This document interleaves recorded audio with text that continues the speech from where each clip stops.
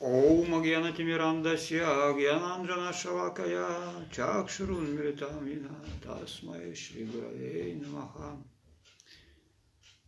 Джаун Вишну Падшива Бхакти Бимала Вадут Махараш Ки Джай, Джаун Вишну Падшива Бхакти Судхир Госвами Махараш Ки Джай, Джаун Вишну Падшива Бхакти Нирмала Чаря Махараш Ки Джай, Джаун Вишну Падшива Бхакти Раджамат Кусудан Махараш Ки Джай, Джай Ом Вишну Пад Парамахамса Паривраджика Чаря Варя Штутра Шташи Шимат Бхакти Сундар Говинда Дев Госвами Махараш Ки Джай, Джаун Вишну Пад Парамахамса Паривраджика Чаря Варя Штутра Шташи Шимат Бхакти Ракшакш Дардев Госвами Махараш Ки Джай. Бхагаван Шива Бхакти Сидан Сарасвай Такур Прабхупад Ки Джай. Джаун Вишнупад Шива Гаур Кишор Дас Бабаджи Махараш Ки Джай. Джаун Вишнупад Шива Сачитананда Бхактинот Такур Ки Джай. Джаун Вишнупад Шива Джаганатха Дас Бабаджи Махараш Ки Джай. Ширупану Гуру Варга Ки Джай. Намачаря Шива Харидас Такур Ки Джай. Нанткоти Вайшнава Вринда Ки Джай. Шива Бадева Видяпушина Ки Джай. Джай. Читание Сарасват Мадхачаря Вринды Ки Джай. Джай Шипатви Джараман Прабу Ки Джай. Джаун Вишнупат Вишваренем Шива Че Бхактидан с вами Прабхупат Ки Джай. Джай Шигуру Парампра Ки Джай. Джай Сапарикара Шишигуру Гуранга Ганхарва Гиридхариджи Ки Джай. Джай Шигирираж Гавардхан Ки Джай. Джай Шинри Симхадрев Прахлад Махарадж Ки Джай. Джай Шимати Тулуси Махарани Вринда Деви Ки Джай. Бхакта Вринда Ки Джай. Нитай Гору Примананды Харибо.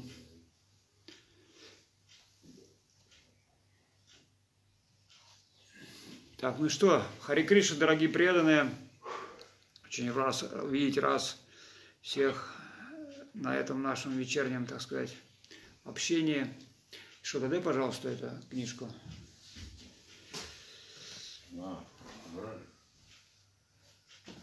Не-не, не эту. эту. Да, ступени.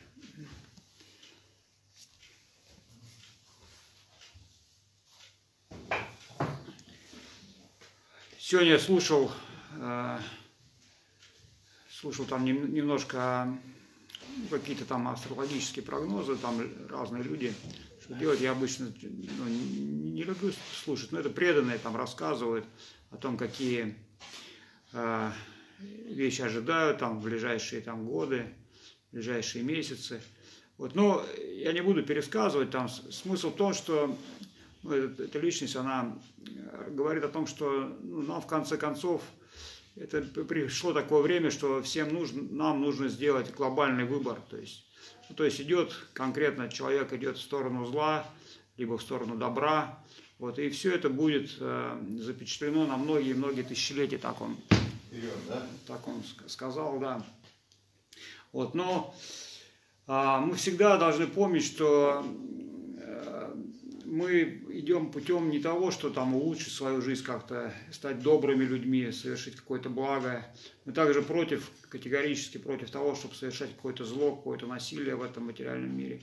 Вот преданные или те, кто, личности, которые пытаются стать преданными, которые вступили на путь преданности, мы должны понимать, что этот путь лежит вне добра и зла, в мирском понимании.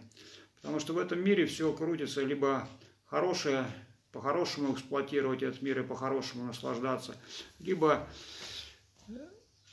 либо по-плохому. То есть, ну, здесь постоянно в этом мире идет война, боги и демоны, то есть это постоянно. Но мы должны всегда помнить, что как э, боги, они хотят наслаждаться этим материальным миром, так и демоны, они хотят наслаждаться этим материальным миром.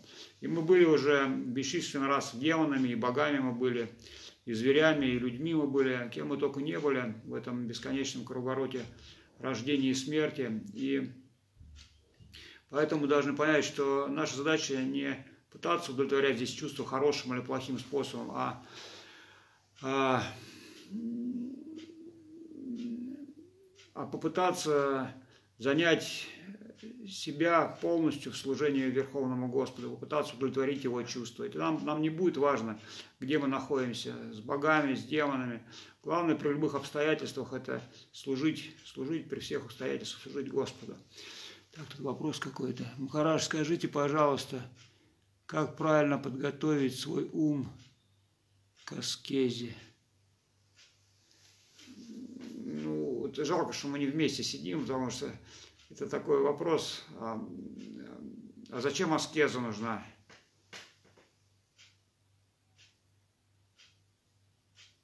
Человек в этот век живет, демоны, полубог, да, Сударнанда добавляет. Да, в, наш, в, наш, в нашем сознании говорится, есть такое ну, выражение, что в Сати-Югу э, демоны и боги жили на разных вселенных. В Трета-Югу они жили на разных планетах. А в Двапару-Югу они жили в разных людях, а в Кали-Югу боги и демоны живут в одном человеке. Поэтому мы должны понять, что у нас постоянно в, наш, в нас происходит добра, борьба добра и зла, то есть постоянно мы находимся, я помню, мне понравилось еще до сознания Кришны такое выражение какого-то философа, помню, по-моему, в то время я был под, э, эта цитата была под именем Лараш Фуко, но, может быть, потом какое-то другое. Он сказал, что как жаль, что природа сотворила из меня одного человека, материала бы хватило и на подлеца, и на праведника. И на самом деле, если мы глубоко будем исследовать себя, мы поймем, что у нас всегда присутствуют эти две половины. С одной стороны, мы такие хотим всем делать добро, такое вот аж до слез, да, а с другой стороны в нас живет такая вот едкая гадость, которая готова пожрать весь этот мир со всеми потрохами и даже глазом не моргнуть. И должны понять, что это вот то, с чем мы имеем дело. И единственное лекарство вот это, это Харернама, Харернама, Харернама, Вакевалам, Каланастаю, Каланастаю, Каланастаю, Вагатира, Нитха. Ничто нам не поможет в этом мире, только а, общество преданных и воспевание святых имен Господа. Потому что мы можем, конечно, попытаться святые имена воспевать так, и это тоже даст свой результат. Но результат будет однозначно то, что мы соприкоснемся с обществом преданных. Но святое имя оно приходит из общества преданных. То есть э, мы не можем а, игнорировать общество преданных, потому что Господь и преданные, они неотделимы. Господь а, – это всегда взаимоотношения, это не что-то безличное. Все, что относится к категориям персонализма и практики обезличенного Господа, это некая форма демонизма, которая попытка утвердить себя в качестве Бога или обосновать себя, что все-таки я есть Бог. Харе. Вот, поэтому, что касается вопроса, как подготовить свой ум к аскезе, просто вопрос всегда, зачем нужно совершать аскезу и кто сказал совершать аскезу, почему мы должны ее совершать. И нужно понять, что сейчас идет Кали-Юга, и аскезы, аскезы они могут быть не всегда благотворны, потому что аскеза порождает такое качество, как гордыня.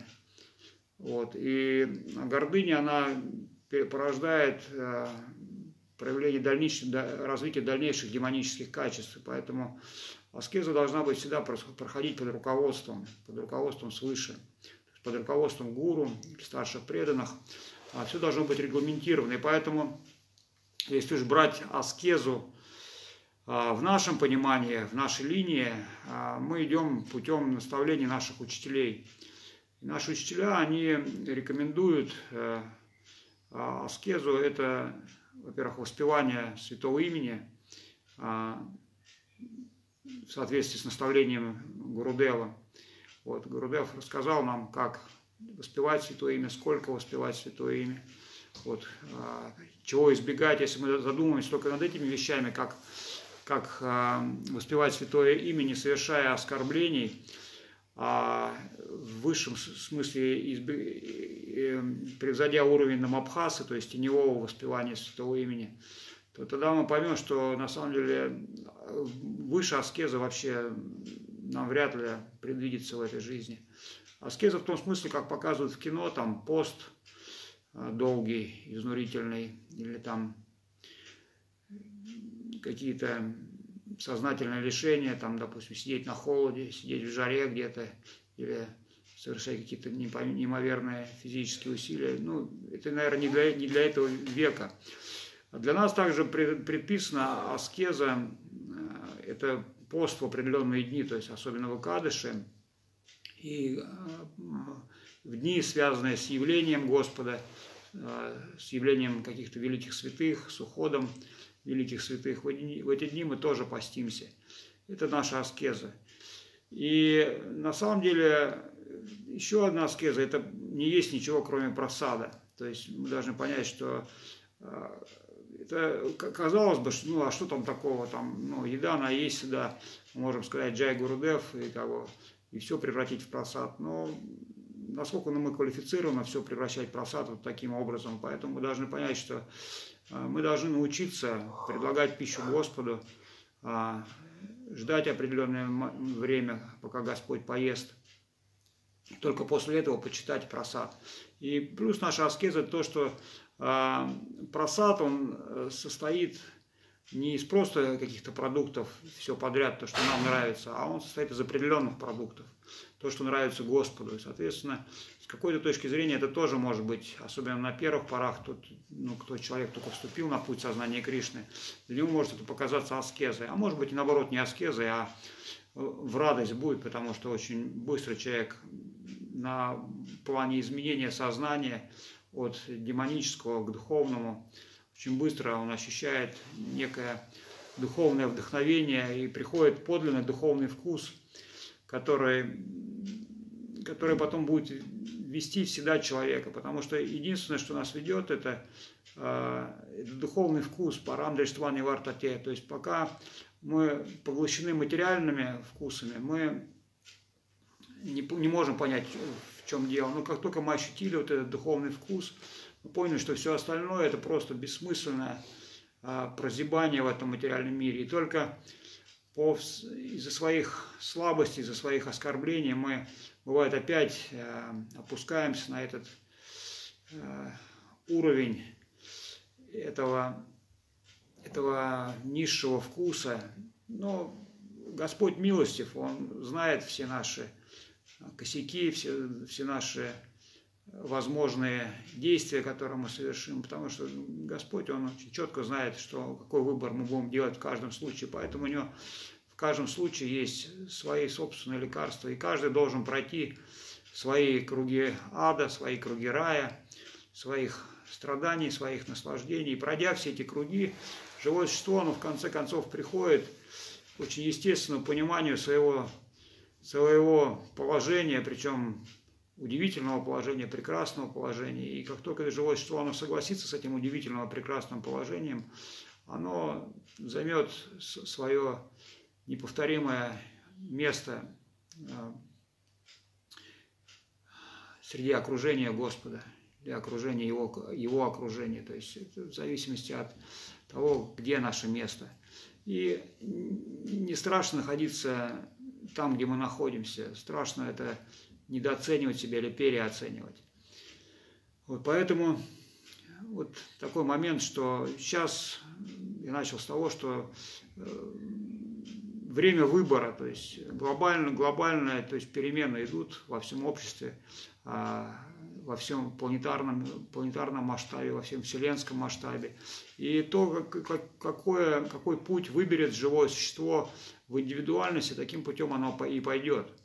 Вот поэтому нам однозначно нужно выбирать не путь ни добра, ни зла, нам надо выбрать путь преданности, путь, э, путь преданности Господу. И он основан на глубочайшем самопредании, глубочайшей молитве, глубочайшем общении с преданными. То есть, и поэтому сейчас вот э, нужно сделать, ну, начать с простых моментов. Это первое, это очень Эм, серьезно отнестись к регулирующим принципам. То есть регулирующий принцип это не просто так какая-то ну, какой-то регламент или что-то еще. Это очень, очень важно. Без этих принципов практически невозможно даже соприкоснуться с духовной практикой, потому что если мы нарушаем эти четыре основные принципа, мы находимся всецело во власти Кали. Кали властвует над нашим умом и сознанием, и мы не можем даже а, соприкоснуться с высшим вкусом, мы так и будем витать э, в рамках этого материального мира. То есть мы всячески должны избегать мяса, всячески должны избегать незаконного секса, всячески должны избегать азартных игр и избегать интоксикации. И также мы должны не просто этого избегать, мы должны всем людям еще об этом проповедовать.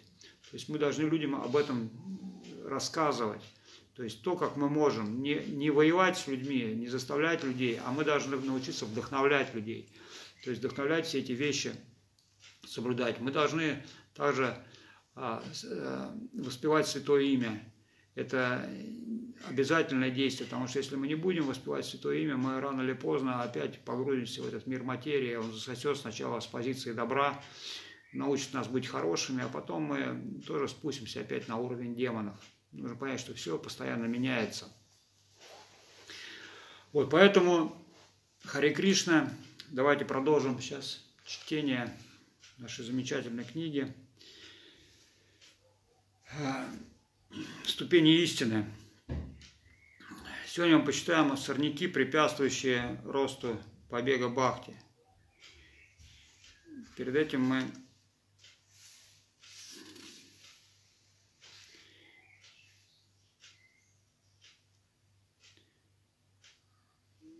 мы читали о том, что каждый из нас, он рано или поздно внутри себя обнаружит эту вечную внутреннюю склонность к определенному виду служения. Постепенно мы займем свое, свое место среди служителей Господа в определенном, в определенном ключе.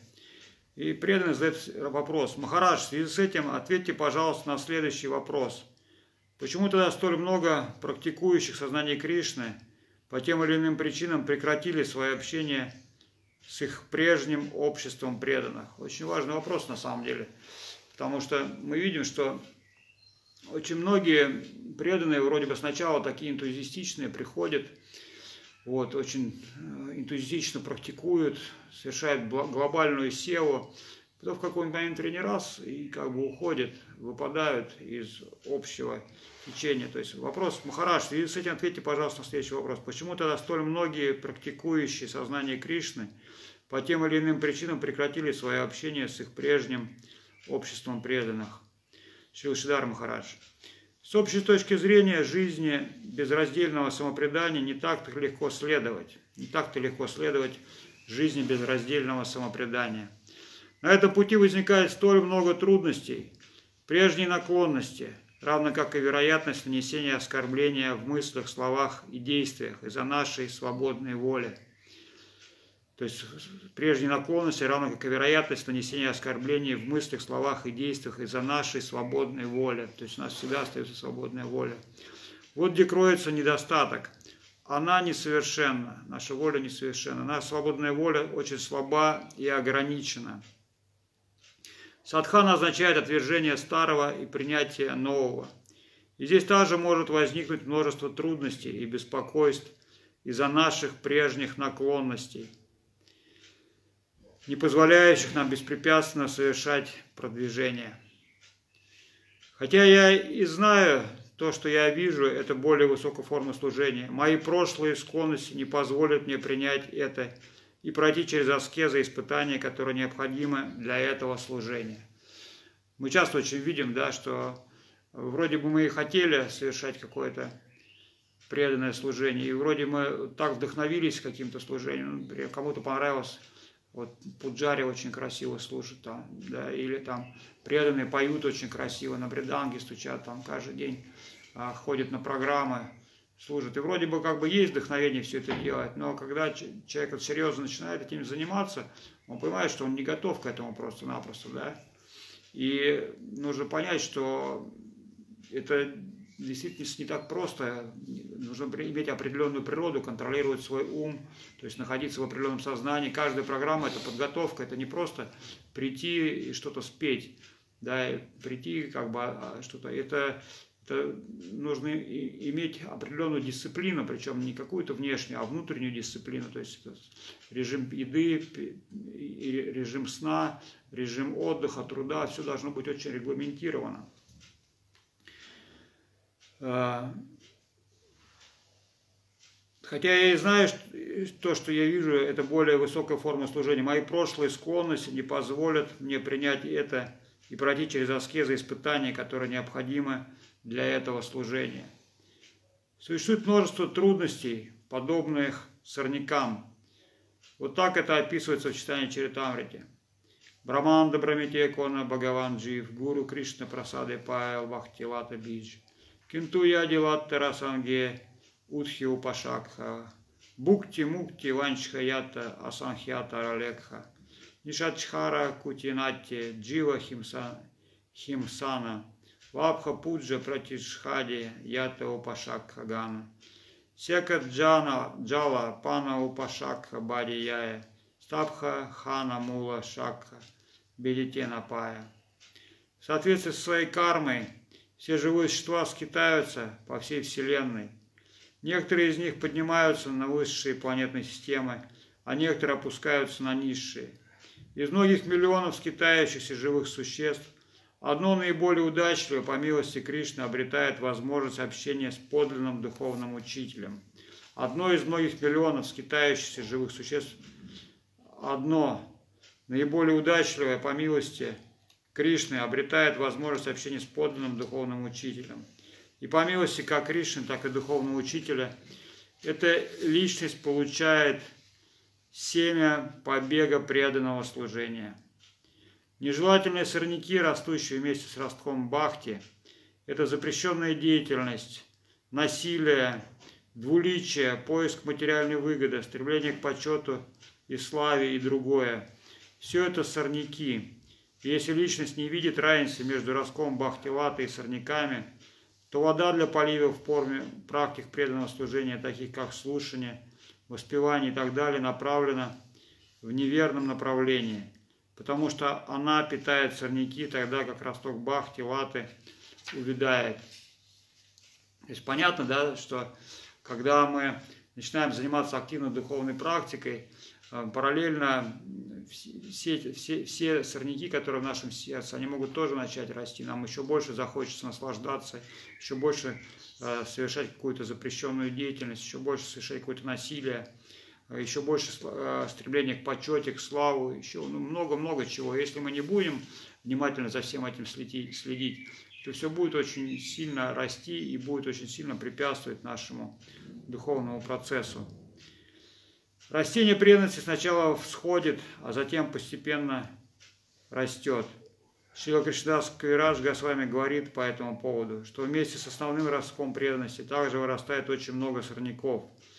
И когда этот росток получает воду и питательные вещества, эти сорняки тоже растут.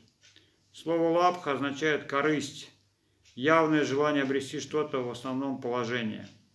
Но это положение и пуджа признания, которые получает садхака, могут затем породить внутри, внутри него множество иных врагов. Новые враги возникают из прежних склонностей. Ими могут оказаться стремление накапливать деньги ради удовлетворения своих личных интересов или желание обрести любовь женщин, а затем возникает стремление к братишке, славе и популярности. Столь много препятствий может возникнуть, когда кто-то стремится ввысь, ему на пути встречается множество трудностей, чтобы испытать его. Но мы должны осознанно избегать всего этого.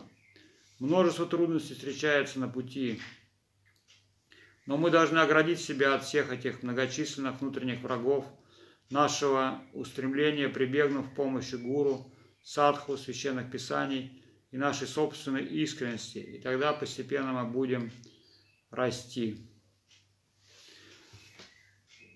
Если человек слушает лекции на иностранном для себя языке, но не на бенгале, без знания языка, получает ли он духовное благо от этого? Его сукрити растет. Ну, э, э, речь не идет вообще о никаком виде языка, ни бенгалия, ни, не так важно, на каком языке человек говорит – ну, а, для, для более полного восприятия, конечно, конечно, важно, чтобы говорили на том языке, который мы понимаем. Но если даже мы не понимаем язык, но говорит какая-то духовная личность и говорит о каких-то подлинно духовных вещах, это, это будет проходить в наше сердце. То есть Гурудев всегда говорил, что я не передаю знания на основе языка, я передаю это знание в сердце. Я просто очень часто ну, присутствовал на различных лекциях Шила Гурудева, и ну, было так, что очень часто не было переводчиков. Мы приехали когда в Индию, не было переводчиков, мы там жили вот с Шобаной, еще там пару человек были, но не знал никто английский язык. Вот, и Гурдев, он говорил на английском, иногда на бенгале говорил, но я вам скажу, что вдохновение было настолько огромное, что было, я не знаю, как дословно, но в принципе нам казалось, что все понятно.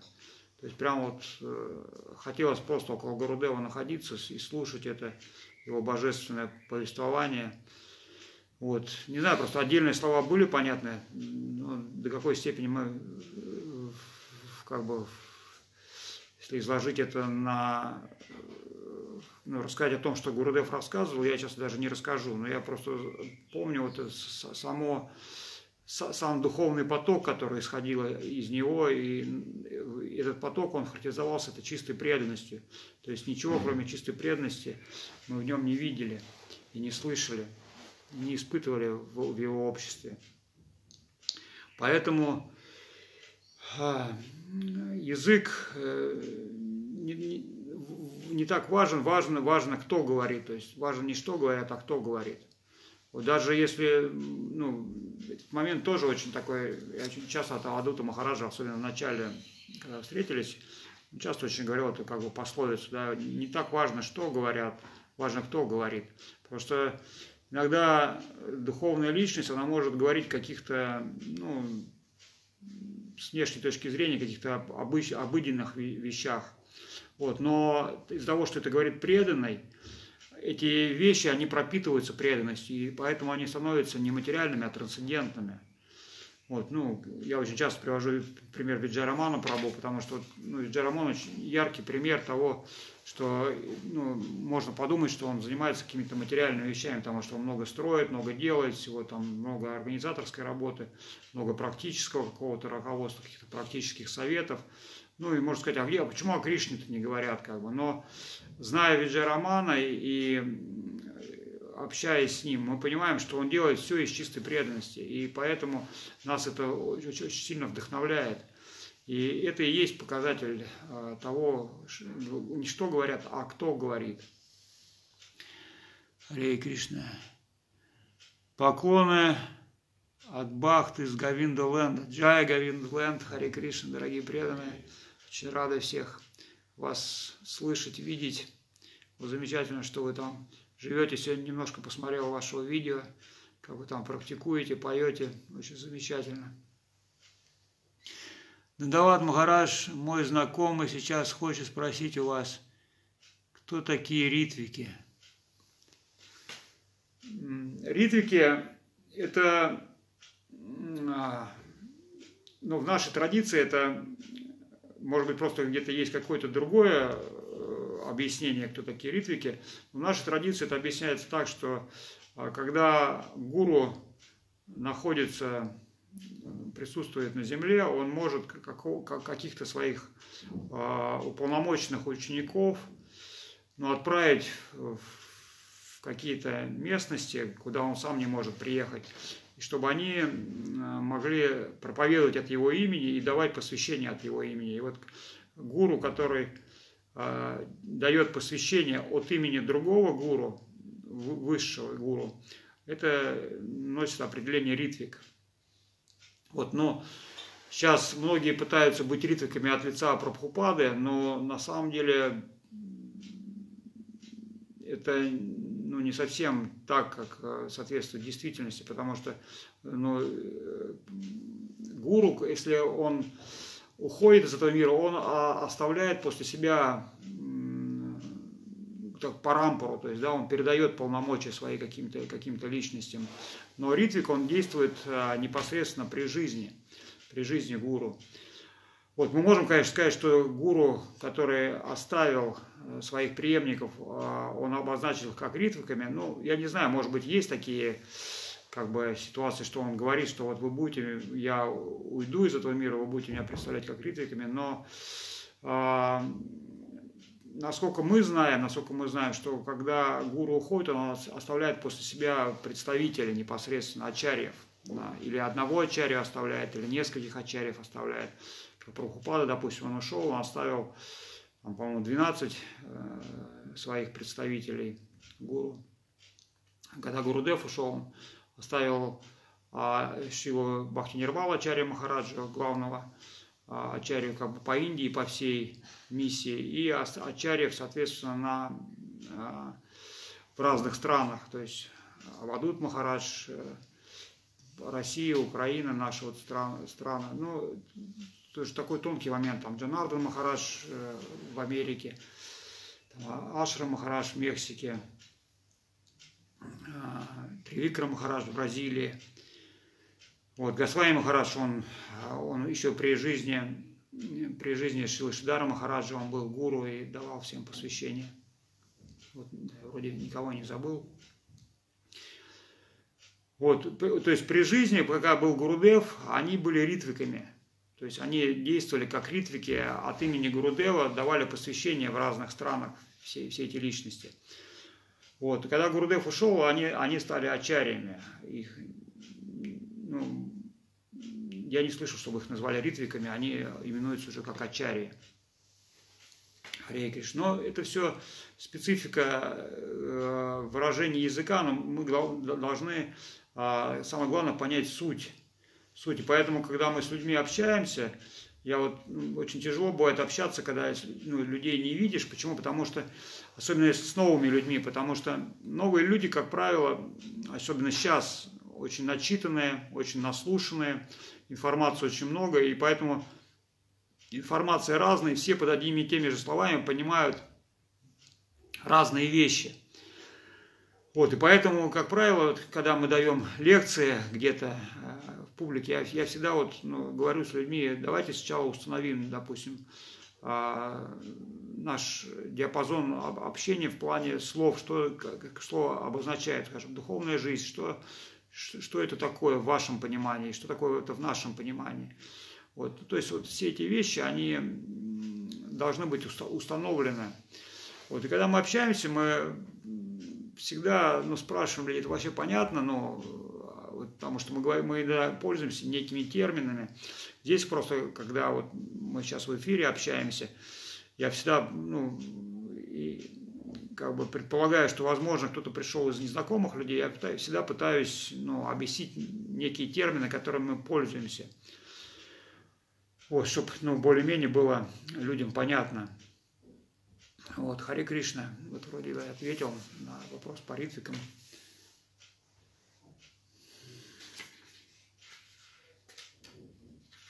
Так, ну сейчас главу вот дочитаем и, наверное, на этом будем заканчивать. А, так, множество трудностей встречается на пути, но мы должны оградить себя от всех этих многочисленных внутренних врагов наших, нашего устремления – прибегнув помощи гуру, садху, священных писаний и нашей собственной искренности.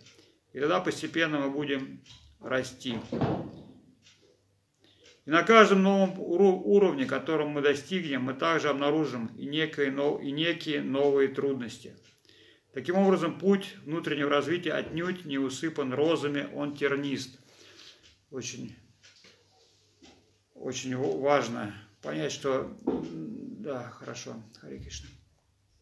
Э, а, то есть он не усыпан розами, он тернист. То есть на, на каждом этапе, ну, допустим, трудности, которые были в начале пути, они могут сейчас не казаться трудностями. Но приходят другие трудности, они могут быть гораздо более серьезные. И мы всегда знаем то, что когда мы еще пройдем эти трудности, придут еще новые трудности, и они будут еще более сложные. То есть нет такого, что жизнь а, а, по мере нашего как бы духовного пути, она становится проще, она становится труднее, но интересней. Понимаете, в чем дело? То есть духовный, духовный путь, он заключается не в том, что мы пытаемся облегчить себе жизнь, что мы хотим а, больше с помощью, так сказать, духовной жизни обеспечить себе некий комфорт в этом мире. Вот, и духовный путь заключается в том, что мы проходим некую трансформацию, причем глобальную трансформацию всего своего существа. Махарадж, скажите, есть ли книги, объясняющие уклад женатых людей? принявших посвящение. Но это, многие об этом пишут, я не знаю, насколько авторитетно. Вот, и опять же, очень важно не что говорят, а кто говорит. То есть э, я знаю очень много ну, книг различных авторов, которые рассказывают об этом. Не знаю просто, насколько они ну, авторитетны, потому что в первую очередь ну, заключается авторитет в том, что человек, по крайней мере, должен ну, сам э, находиться в неком таком потоке. Я знаю одно, что самое главное для ну, людей, которые вступают в брак, это не пытаться использовать друг друга для собственного удовольствия и наслаждения, то есть не, не эксплуатировать. Мужчинам нельзя эксплуатировать женщин, а женщинам нельзя эксплуатировать мужчин. Единственная цель брака – это совместно научиться служить Господу. Вот если в центре семьи стоит Господь, тогда, тогда брак он может быть успешным. Если в браке стоят какие-то другие цели, скорее всего, это будет некая постепенная деградация. Вот это вот то, что основное, то, что я знаю, что должно быть в семейной жизни. А так можете найти какие-то, конечно, книги, спросить. Я ну, не могу сказать. Очень много разных психологических советов, насколько они действуют. Надо всегда избрать божественный принцип. Очень, ну, с моей точки зрения, очень полезно смотреть, ну, скажем, фильмы какие-то о ведическом обществе. Ну, как там э, относятся там просто есть вот ну, скажем, там э, про Махадева сериал, там и ну, раз, эм, разные сериалы, которые ну, показывают смысл вообще, э, смысл ведического общества, просто они показывают не то, как общество в нас сейчас живет, то есть ради вот, хапания, наслаждения, а э, общество показывает на, во-первых, в отношении Господа, что все строится, что в центре везде Господь стоит. И как а, и что совместная жизнь, она все-таки посвящена именно этому служению.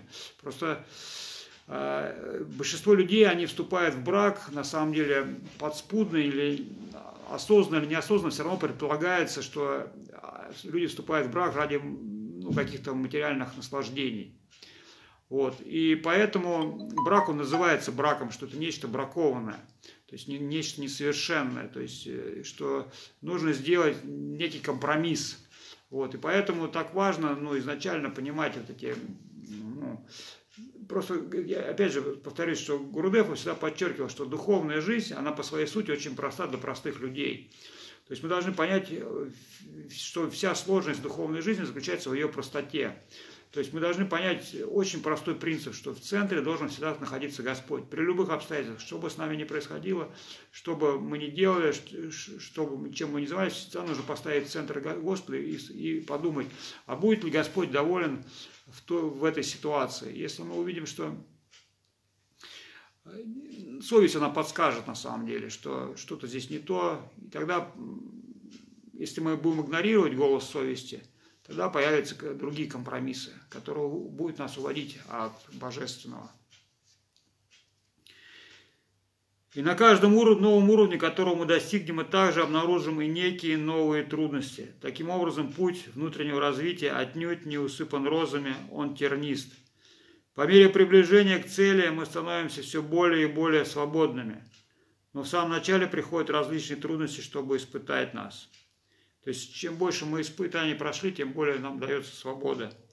Наши прежние карма-пхалы, плоды наших прошлых деяний будут возвращаться для того, чтобы мы могли вкусить их.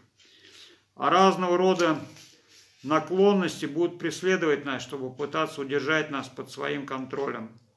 Но встречая эти трудности и преодолевая их, побеждая их, мы будем продвигаться все выше и выше, а трудности будут уменьшаться но все равно что-то может остаться, в особенности пратиштха. Харе Кришна. Ну вот на сегодня мы закончим. Харе Кришна, дорогие преданные, поем. Харая Нама Кришна Ядавая Намаха. Харая Нама Кришна Ядавая Намаха.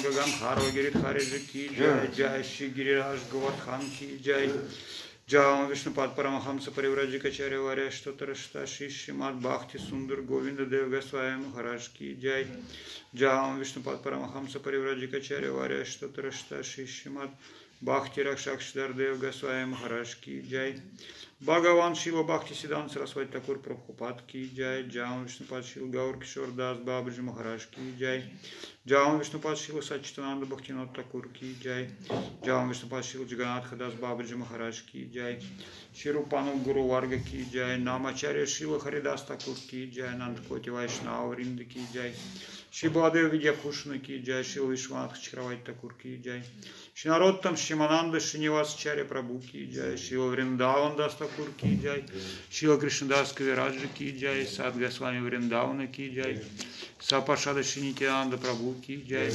Сапаршада Шиман Махапрабу Ки Джай Джай Шиши Рада Кришна Гопи Гопинат Шьяма Кунда Рада Кунда Гири Гавардхана Ки Джай Шутха Бхакти Вигна Винаша Синриким Хадев Ки Джай Бхакта Прабара Прахада Махарадж Ки Джай Туласи Махарани Ки Джай Ганга Ямунаджи Ки Джай Грантарат Шимат Бхагаватам Читание Чаритамрита Ки Джай Двиш Вайшнава Раджа Сабха Ки Джай Ши Читание Сарасват Мат Ки Джай Шидам Майпур Ки Джай Шидам Навадвип Ки Джай Бриндаван Парушатун Хам Ки Джай Бавадева Субхадра Джигаатхаджи Ки Джай Самаветта Вайшнава Мандава Ки Джай Самаветта Бхакта Вринда Ки Джай Хринама Санкиртана Ки Джай Джай Ом Вишнупад Шила Бхакти Бимала Вадут Махарадж Ки Джай Джай Ом Вишнупад Шила Бхакти Судхир Госвами Махарадж Ки Джай Джай Ом Вишнупад Шила Бхакти Нирмала Чари Махарадж Ки Джай Джай Ом Вишнупад Шила Бхакти Раджнам Судун Махарадж Ки Джай Шичитание Сарасват Мадхачари Вринды Ки Джай Джай Шипат Виджараман Прабу Ки Джай Джай Шила Бхакти Амрит Махавир Махарадж Ки Джай Джай Шипат Бхакти Ашрай Данди Махарадж Ки Джай Джай Шимати Бхакти Лалита Деви Ки Джай Джай Вишнупат Вишу Варенем Шила Чей Бхакти Видан с вами Прабхупад Ки Джай Вся слава всем преданным Ки Джай Нитай Гаур Примананды Харибо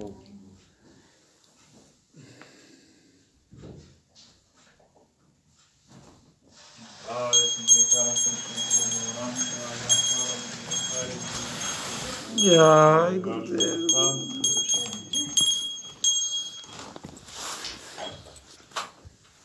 Так, ну вот, Джай Шила Гурудев, Гуру Махарадж, Киджай, всем преданным Киджай. Ну вот, дорогие преданные, на сегодня у нас закончилась программа. На этой неделе у нас большой праздник, в четверг, день явления Шил Гададхара Пандита. Вот, поэтому надеемся, что все на своих местах отпразднуют этот замечательный праздник. Вот, мы попробуем, может быть, что-то посчитать в этот день, что-то рассказать. Вот, ну, в общем, готовимся сейчас постепенно к четвергу. Сегодня у нас какой день? Сегодня понедельник, вторник, среда, через два дня праздник. Харе Кришна, дорогие преданные, дандаваты. Все, до завтра. Если ничего не помешает, завтра пол восьмого встретимся. Харе Кришна.